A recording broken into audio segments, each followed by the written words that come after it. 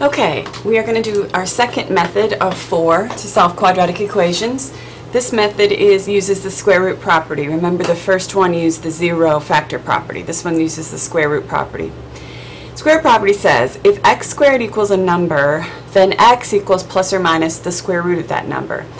In other words, this is saying, remember how we had four things that you could do to equations um, back in section 8, the linear equations. You could add a number to both sides, subtract a number from both sides, multiply both sides by number, or divide both sides by number. This is the fifth thing you can now do. Oops. There we go. This is now the fifth thing. What the heck is going on? I just want to draw. I'm having a lot of trouble with this, aren't I? Pause. Okay, I'm back. Okay, this is saying you can take square roots of both sides, but, and there is a but, you have to add the plus minus. Have to.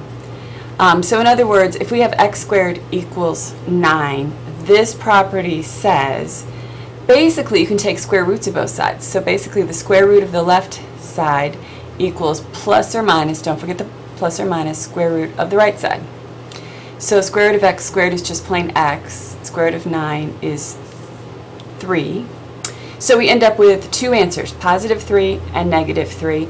On a test you can write it as plus minus, but um, MathXL doesn't have a plus minus, so you'll have to list it as 3 comma negative 3. Okay, look at this for a second. Look back to the original equation, x squared equals 9.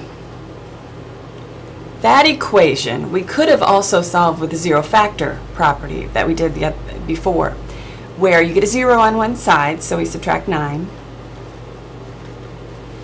and then you factor. This is a difference of squares, so we could have factored, whoops, x plus 3 and x minus 3, and set each factor equals 0. We'd get the same two answers. Um, so we could have done it the other way. Let's look at a problem, though, that we couldn't have done another way. If you look at x squared equals 17 on the next page, if you tried to do that by factoring, you could move the 17 over. You wouldn't have a difference of squares. You couldn't factor that. So this is a problem that we can't do by um, factoring, but we can do by the square root method.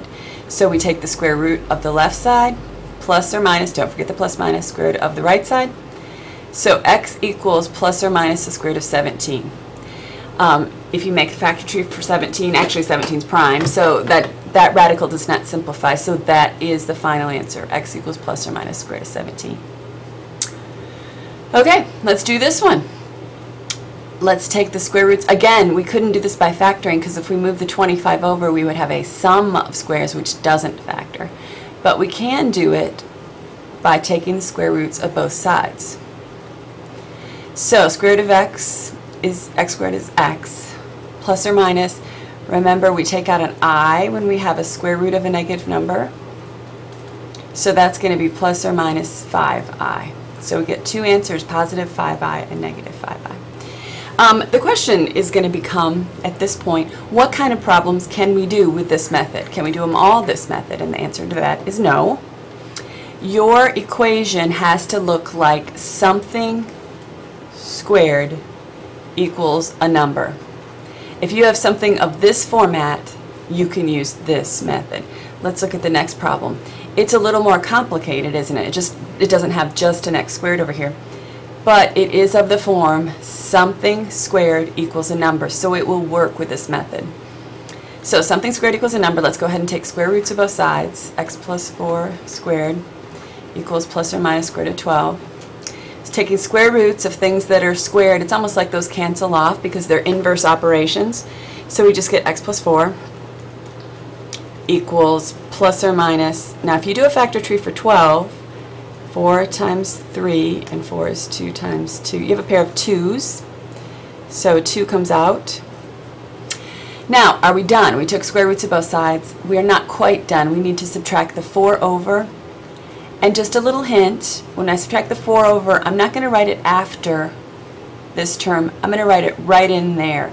It will just sort of be helpful later, so get in the habit of doing that. So x equals negative 4 plus or minus 2 square roots of 3. So that's actually two answers, negative 4 plus 2 square root of 3 and negative 4 minus 2 square root of 3. So we're done there. Okay, try this one on your own. Pause the, um, pause the video and then come back and see if you got it right. Okay, back, see if you got that answer. Should have negative 1 plus or minus the square root of 7 over 2. On MathXL, remember you'd have to list that as negative 1 plus square root of 7 over 2, comma, negative 1 minus square root of 7 over 2, the two separate answers. Okay, let's talk for a minute about the pros and cons of this method. Um, what would the pros be? I think one is it does more problems. It does problems that factoring didn't do. Um, I think it's pretty easy and short, doesn't take too long. What are the cons? It still doesn't do every problem.